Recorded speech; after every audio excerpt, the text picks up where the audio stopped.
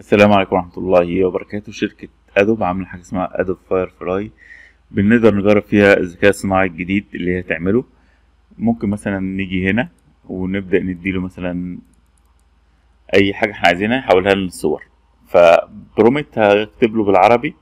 مثلا حصان عربي أصيل في الصحراء.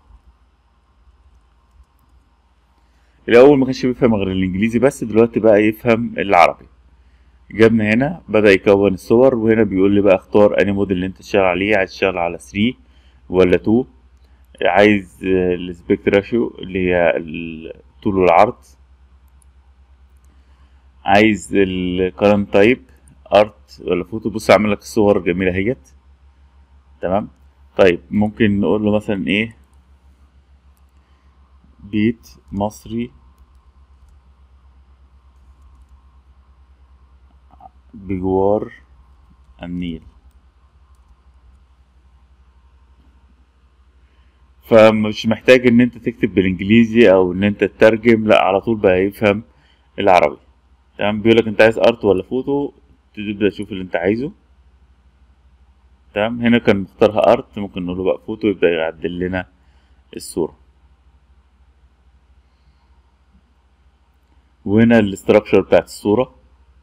هنا ال style يعني ممكن تقول له أنا عايز ال style بتاعها يكون بالشكل دوت. ممكن يكون أنت عندك صورة معينة لفنان معين فيبدأ ياخد نفس ال style بتاع الصورة. طيب أي صورة من دول تقدر إن أنت تكبرها تقدر إن أنت تعمل لها download تقدر إن أنت تديها تقييم هل أنت موافق عليها أو مش موافق عليها. تقدر إن أنت تحطها في ال favorite بتاعتك.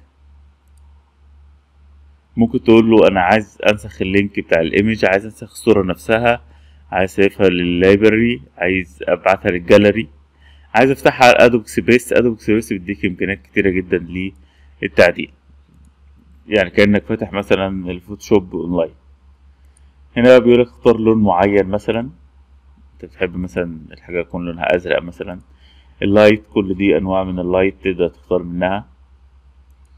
الكاميرا نفسها تقدر تختار close up أو تختار أي حاجة مثلا landscape وهكذا. ففي اختيارات كتير ممكن تختار منها نوع الكاميرا اللي أنت عايزها. تمام؟ شوف بقى أنت عايز تكتب إيه بالعربي وهو يبدأ يعمل لك الصورة اللي أنت عايزها.